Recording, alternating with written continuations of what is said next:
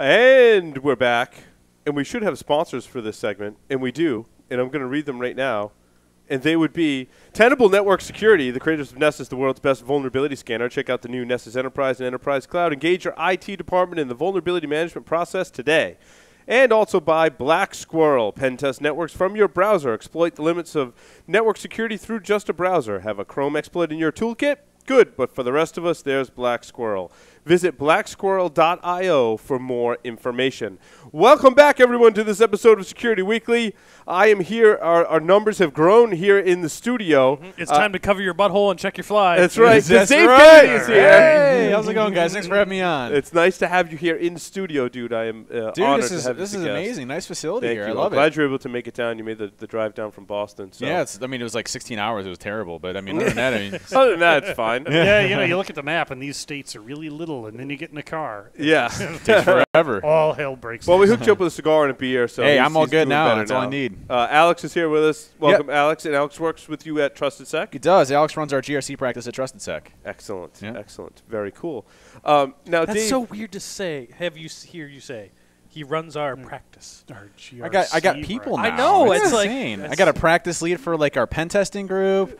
I got a practice lead for leopard thongs. I mean, it's just a matter of different, you know, different practices. I can only imagine the internal emails. oh, dude, no, you can't even imagine. Trust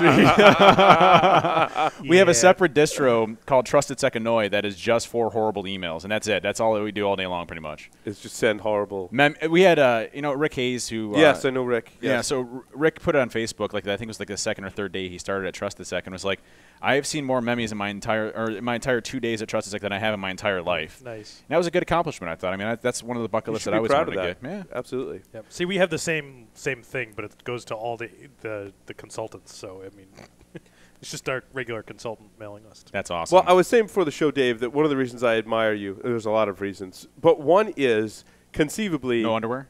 Well, no underwear. And uh, conceivably, you should be like the world's most stressed out person right now, running your own company, planning one of the largest conferences on the East Coast, appearing on Fox News, coming down here for the podcast. But you're not, dude. You're like text to Jack. We're like, so what are you wearing? Maybe. well, I mean, that was an honest question, though. I mean, I, Yeah, can- I that's still can be true. stressed, and I still want to know what Jack's wearing. That's true. That's true. but no, you're, you're very relaxed for a, a man in your position, which I greatly admire. So. Oh, thanks, guys. I, you know, it's it's you know the thing is, Man, it's his about position, missionary. Nice, Jack. nice. it's really doggy style. yeah, a little bit. well, you could switch. Yeah. Reverse switch. You know, like you could do that. cowgirl. You could do the maneuver where like you hop up and turn around at the same time, and then you're good, right? Because then you don't have to. You don't have to. is, you get Dave and I in the same. It's like when Dave and I are in front of the counter at Caesars checking into the room together. Dude, it was. I couldn't stop laughing. I still like think back to that moment and like Same I, here. I giggle, and they're like, "Why are you giggling?" I'm just thinking about the time Dave and I were at the, t- the Well, check-in so- And counter. then, then that's usually followed up by the raging boner, but that's a different story altogether. Well, somehow, somehow, you know, we've told the story I think enough to where like it's become like so resonant in my mind that I actually think that we thought, you know, I think in my head like we actually jumped on the bed naked. it's a mem. Yeah. it's really what it is. Yeah. We created our own mem. We did, and, and it's in my mind. So like I, I picture us just jumping on the bed naked all the time now. I, I, I, I do. at least twice a day. and, and, I, and I've got to correct you. It's meme. Oh, meme. Meme. Yeah, so- you know, I always get that confused. It's like me, mem, memmy, Mem. May May. Tomato, tomato. Meme. May May. Uh, meme. meme. Meme. So, uh, Dave, DerbyCon this year. Yeah, We're very excited. Um, the Is that what that conference smell is- guys, I got some bad news on DerbyCon. It's canceled. canceled. It's canceled. Okay. Damn it!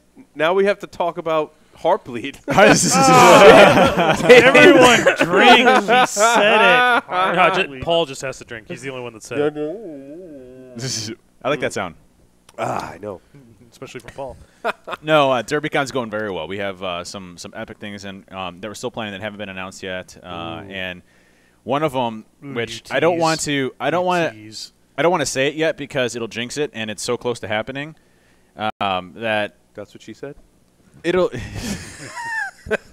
I've never had that before. So I- Usually, I usually know. It's, usually, it's so, usually it's so far done by that point that yeah, it's So, D- Dave, what's the theme for this year's DerbyCon? so the the name of the theme for this year. You know, every year we uh, so last year it was um, what was it last year? Uh, All in the family. yeah. Uh, this year it's family roots, and uh, you know it's it's it's really you know for me it was it's really getting Oh, back down I to- get it. It's like a play on words. Ah, Ah, so it's spelled R O O T Z, like I- all I- hackerish and I stuff. see and what you did there. Clever, huh? Actually, I think Khalil came up with that one, Pilgrim. Um, but uh, you know, the the whole purpose of this year is to really get back down to what we're here for, and that's you know, it's our hobby, it's what we like doing, it's our passion, it's our jobs, it's everything else. So getting everybody that's coming into the community focusing on family, coming in and, and learning from others, as well as folks that have been here for a long time learning from others. I mean, I learn every single time I go to DerbyCon, I learn so much more that I didn't know before DerbyCon.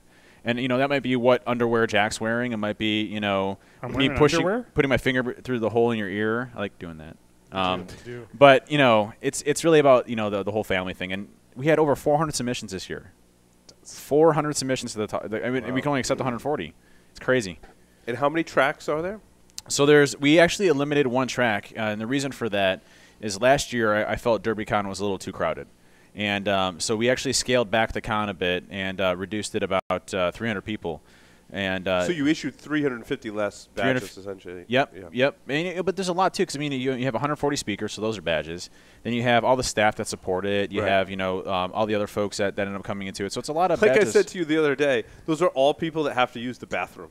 yeah, No, no, no. Those are all men. Yeah, mostly men who have Yeah. to use the bathroom. So Well, and one thing you should note when you see the schedule, um, we have a uh, insane amount of, uh, of women presenting, and I think that's just awesome. I mean, I, I, I, I want to say like probably ten, and that's you know still we're you know it's not an equal number in any way, shape, or form, but I think it's shown a lot more. Um, you know, family feel, people being able to come to Derby kind of present and feel comfortable doing it um, in a predominantly ma- you know man-driven you know uh, community. So I'm really excited about that, um, and it had nothing to do with it. It's just they were great talks. You know, I mean, definitely, you know, ones that we would have picked, whether it was a man or, or a woman in any capacity. So, you know, I'm really excited to see that too. no, that's awesome. Yeah. I love to see different people presenting. And that's the um, thing, I mean- haven't presented before, or some people who have uh, that are now coming to DerbyCon to release whatever they're, Yeah. you know, releasing as uh, some of their projects and things like that. The biggest, the biggest thrill that I get from DerbyCon, and the reason why I do it every year is, is when I see someone tweet, "Oh my God, I'm getting accepted to DerbyCon. I've never spoken before. I'm so Yes, excited." yes. That right there alone is everything. Like, and then I, I get really depressed because I had to reject, you know, 300 and some people, or we had to reject as a, as a board, you know, 300 and some people. You know, that's terrible. That's the worst feeling that, that you can ever have. So I didn't even sleep last night because I was all up, upset because I said to reject, you know, the, the the non-acceptance. out. Uh, Yeah, I went the, out yesterday. the acceptance and uh, Yep, at the same time. went all went out at the same time. And that's literally me copying, pasting, Python coding, ripping them out of the database, and sending out of the emails and everything. So I, you know, as soon as I hit that send button, I'm like, I don't check my email for the rest of the, the night because I don't want to, you know, see Read people responding. Yeah. Yeah. Well, there's no hate mail. Everybody's really, you know, responsive to it. And even though we sold out and uh, you know we had those submissions, I offered a discounted tickets to everybody that submitted uh, Mm-hmm. to it, which is not something that we publicize, you know, usually, um, just because we. We want them to be part of DerbyCon still, Right. and it's not that their talk wasn't good enough. It's just we had so many great talks. to choose from. It was really hard. Is there like an alternates list or? Like uh, people that can still be continue to the, the speaker. Yeah, like what if a speaker something happens to? a Yeah, definitely. We have we have um, kind of a backlog, you know, folks that we've selected as being, you know, i- literally we spent. It was funny if you if you hear our DerbyCon conference calls, they're absolutely hilarious. Like as bad as the internal work calls. y- they're they're a lot worse, but uh, in a good way, in a good way. But uh, you know, like uh, one of the guys that's on on Dave DeSimon, he does the best Martin Bos pure hate impression I've ever heard in my entire life. "Hey, Adrian, you got the mic 2247G? Can you bring it up here?" You know, I, I can't do the, the the accent very well, but uh, he's got the best impression of uh, of Martin that we ever hear. So that, that gets us going for a while, and you know, we have a good time with it. But we spent a lot of time going through Call for Papers. Um, so how do you, how do you deal with the people that are upset that they didn't get a ticket? you know, we haven't experienced that. I mean, you know, I think people are disappointed, and you know, as soon as I see that, I try to direct message them, and say, "Hey, man, I'm so sorry," you know, or if I get a response back, you know, I try to. And what we also do um, is I send I send the initial non-acceptances out, and then I manually and we as a team manually go through and send them exactly why we didn't end up accepting and things that they can do to improve next year so that they can get in because we want to Oh, hear them. What about attendees though? What about attendees? Like attendees that say, "Oh, I, I, could, I didn't get a badge or it sold out," and I really I know that go. does that does suck, um, and th- and that's that's a fundamental debate that we had last year and the year before that because you know DerbyCon's getting more and more popular every year, and so what we decided is that you know listen, we opened up tickets in February, you know, and so you had February until about two weeks ago before they sold out. You know, it's not a mad rush to get the tickets. You had plenty of time to get them. So the folks that really wanted to go had the opportunity to get them. Gotcha. And we don't want to be, you know, DEF CON. DEF CON's its own glamour and its own type of conference, and it's it's insane and amazing and, and Come one, come all. yeah, you know, it's it's it's Here's your it's paper badge. 15,000 Right. plus people. well, you know, but I've been going there since Alexis Park, and, and that was, you know, for me, like some of the core things that I remember as, as kind of growing up in this community. And we don't we don't want to go big. We don't want to go to ten thousand people. We don't want to go to five thousand people. We like it where it's at, and I think you know the people that are there respect one another. Um, you know, and, and it's really about learning and, and coming together as a community to figure out things to fix it or to break it or whatever. Uh, but that's what the whole you know inspiration for DerbyCon was, and we hope as a team to be able to keep that. And we we discuss it almost every call. It's like you know the demand keeps getting more and more. What do we do about right. that? Do we expand? Do we not? You know, and and as of right now, we're in a holding pattern. We're going to keep it where it's at. So the important question is, how's the bar going to be staffed for beer this year? Wait, now you mean there's two things. There's staffing of the bar, and then there's uh, Stocking the of the bar. stockpiling okay, of the liquor. both, both.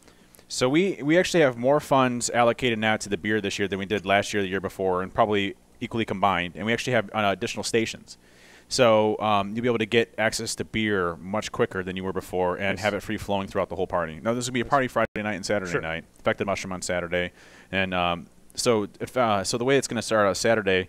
Uh, we'll ha- definitely have sci-fi and dual core and infected playing uh, Saturday. We'll also have dual core doing Friday as well, as well as a couple others. I think Rance is going to come back again. and A few other folks. He did amazing, um, and great guy. Uh, so we're going to have all of that going on Friday as well, and plus, you know, hopefully one big surprise that I'm working on. So So now, how about the uh, the actual hotel bar? Are they going to stockpile enough? so They, they, I think they've learned their lesson. they last year. taunted. Remember they taunted us They last did. year. They did. they actually taunted us. They're like, They Der- learned. DerbyCon, we're ready for you. And it, you know, it had a picture of like, you know, like 40 kegs stacked up and everything. And then I think the last tweet we saw from him is we tap or something like that, and it was all the kegs that were just completely destroyed and dead. Yep. you know the records we beat, right? Yes. Yeah, we we'll, we'll tell our listeners. Yeah. So la- last year, if you if you weren't at DerbyCon, um, so Hyatt, you know, is obviously a massive conglomerate of of uh, you know hotels and things. Apparently, we held the the um, on Saturday we held the uh, record for being the second best amount of alcohol consumption period in all of Hyatt history. Oh my, I didn't know that. Yeah, all in all So of who Hyatt's was, ever. who was They- first? Bet? Who was first? that was us Friday. so, so we hold Friday and Saturday records for the most alcohol For consumption of, of any ever, Hyatt ever. Ever. Yeah. And what's what's great about that too is, um, you know, it, it's a great relationship with the Hyatt. You know, we talk to each other back and forth and everything, but they love us. I mean, every time we get done, they're like, the people here are just so amazing. And you know, we had the Well, that's what gets me too. Is Yeah. we say that we drank all that booze. and Not I- one incident. We all contributed to that at, on this panel as Oh, well. yeah. Oh, yeah. Yeah. But the thing that gets me is there's there like from what you say, there's very few or even no incidents really to speak of. No, and, you know the, the the security guard that's there, you know, and it, he's usually, usually talking to the same police officer that ends up coming every year, and they actually get a little pissed because they're like, "You guys are the exact opposite of human behavior that we're experiencing our whole lives. Like, you know, the drunker you get, the more civil and polite you get, and you guys are playing freaking chess at 3 a.m. and you're all drunk. You like you can't get up and walk."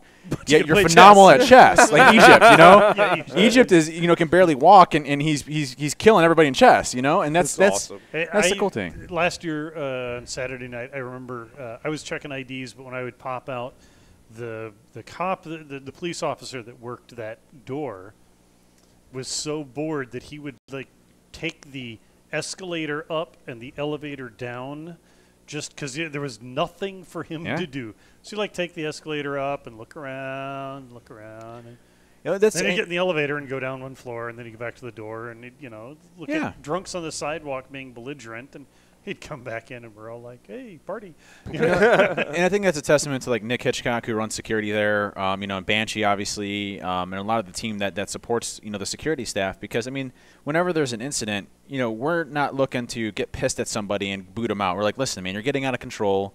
Let's tone it down a bit. You know, we had a couple of guys try to sneak into the party last year without a badge. You're like, listen, just go get your badge and come back. If you don't have a badge, we'll see what we can do. Right. You know, right, it's right. not it's not about trying to screw people. It's about you know making sure everybody gets home safe and has a good time. You know, and that's that's the whole mantra of DerbyCon. and at the size that it is, um, it's like other events. You know, ShmooCon's a bit bigger, but it's same size, same thing. It, it's friend of a friend. You don't have to go beyond. You know, there, there aren't six degrees of separation. No. Right. You put the if if somebody needs to be escorted back to their room or something, you know, if somebody needs to hold somebody's hair while they puke in the toilet, uh, or Hold their beard, beard out of the way. uh, you know, there's y- y- all you've got to do is ask, and, and it's like, oh, hey, yeah, I, let's let's go. You know, Well, I had that. Um, I was. Uh, it was um, the Saturday night last year at the party, and I remember going in the bathroom, and someone was basically trying to get to make it to the ba- to the bathroom to throw up. So I picked him up and I put him in the bathroom and I held his head there while he's puking. I don't care, you know. Good. I mean, just you see somebody in need and you help them out, you know, and then you get them another beer, you know, just Right. hey, you got room for more. yeah, hey, you just purge, you're good, man. You just, let's go, you know. Room- But room uh, for more, yeah, it, it reminds me. There's nothing like uh, you know that CVS right down the street. yeah, yeah, There's upstairs at nothing the like going, yeah, yeah, there's nothing like going in there at odd hours, uh, looking like me, and grabbing an armload of uh, Pedialyte and an armload of champagne to make Pedialyte mimosas. Because That's I Jack's have- hangover cure. I'll say I have no The idea what that girls- is, but it's, the girls at the you know they look at me and it's like, hey, can you give me a hand taking this out to my van? It's the one without windows. Uh, but Free candy painted on the outside. no, no, you have to check that. It's my. I fall for that cure. every year too, Jack. Yeah, I, I'm in there and it's just I wake. I, I like it, but I wake up, you know. Yeah, Sore. Yeah. Um, so uh, tell us about some of the other things happening uh, at DerbyCon. Are there like contests or like things Ton, happening yeah. outside of the talks and, and things like that? Yep. So uh, we have uh, Kali uh, Kali workshop that's going to be going on all day Saturday, um, and, it, and it's progressional. So it starts off basic and goes starts to starts to get really advanced with you know how you can leverage Kali, how you can use it, and everything. And uh, so offensive security is going to be there in full force, uh, running that. Uh, we have a ton of events going on. Uh, we have everything from obviously the capture the flag. Uh, we moved capture the flag from the one room it was in before. So the I don't know if you remember the theater room. Yep. Yes. So the capture the flag's now in the theater room, so we're gonna be playing movies and techno music and all that good stuff there, and then you can also do the capture the flag and chill and relax and you know comfortably because those guys are in there for hours and hours and hours. You want to make sure that they had you know some nice places they kind of sit their butts on. Um, and then uh, also Space Rogue. Uh, this hasn't actually been announced yet, but uh, Space Rogue is going to be working uh, on uh, kind of like the hack the derby uh, type thing, where you know you, you have a couple different uh, um, you know ways of building your hat out, hacking it, you know, doing cool things with your derby cool. hat. Um, so we have cool ones like that. Uh, we have, you know, uh, the RV of Doom is going to be there. Um, a lot of different events going on throughout the entire time. Workshops, uh, free workshops. You know, uh, Cavalry will be there. The I'm Cavalry movement will be there with Josh Corman. You don't need a badge for that. Um, so we're gonna do when we talk about Cavalry. It's got You to need the Yeah, block. yeah, so- blocks. uh, yeah, Yeah. it's going to be you know going back and forth with the Cavalry, and you don't need a ticket for that. Um, so you just can just kind of go you just in. need coconut shells, right? Coconut shells gotta- and- gotta- see, and see, and automatically, sigh popped into my head. Hey, sexy but there's a lot of stuff going. on. You're not going to be bored. I mean, the the talks you, themselves Josh. are amazing. Uh, um, And you get some training beforehand as well. Yeah. So we have. Uh, and what was crazy is you know training is usually a little bit slower to go um, before the actual tickets sell out, and and training actually sold out before the tickets did. Now, And if you buy a ticket for training, do you automatically get a badge? For the- Absolutely. Yep. You Okay. get as soon as you buy a training ticket, you automatically get a badge. Yeah. Uh, you know, for the for the con itself. That's also one thing we had to qu- uh, equate for as well. I mean, that's you know I think 300 people going through the training as well. Mm-hmm. Um, but uh, yeah, I mean, we'll look, we're looking at probably around uh, 1,800 people this year, whereas last year was about 2,200. Gotcha. Uh, that's where we're hoping to get to. Nice. Yeah. Nice. Um, so, uh, so are there going to be keynotes on both days? No, the way we usually do it is we have a keynote on, uh, and the reason there's a specific reason for this. We we have a keynote in, uh, or two um, initially the first day on Friday, and then uh, Saturday is n- it doesn't have any specific keynotes. And the reason for that is in order for us to um, change the rooms around and get everything you know set up appropriately, it takes time. And the, and the problem is you know we have so many talks going on throughout the entire day that we would lose about six talks to 12 talks you know just to be able to do it. So that was the main, you know, reason for it. We just have uh, two keynotes going on on uh, on uh, Friday. Mm-hmm. All right. What else about DerbyCon? I don't see the So, keynote. so speaker are they listed. are they bringing enough b- booze for us? Huh? Are they bringing enough booze for us? You know, we, we've had discussions with the Hyatt. We, we, we have, but, we, but the problem is we have discussions every year with the Hyatt, Sure. and they feel so prepared every year for us, and then they just get their, their dreams get destroyed. Um, and we outdo ourselves every time. But that's and that's the thing. I mean, talking back to the family roots thing, you know, Friday night you go downstairs and the bar is packed with people that you know, and everybody's social. Everybody's coming up to you. You know, everybody's approachable, and that's the thing that we want. And that's Sure. you know, it's like, why do we move something like that? Why do we change something like that and make it bigger? Because, you know, maybe we can make it still successful, but it won't be like that anymore uh, when we go and move it. And that's Right. our biggest thing. Yeah. Can So- you get can you get them to bring back those nice crockery mugs that they had the first year? What were the mugs? I don't know. They had some special beer that they had there that the beer. Bourbon barrel. barrel? No, it was different. They had this